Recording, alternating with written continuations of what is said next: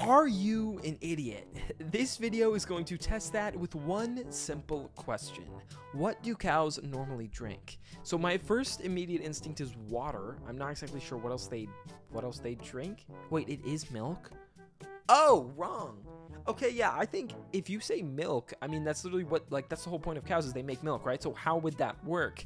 And apparently only 5 to 15% get this right. So, did you get this right?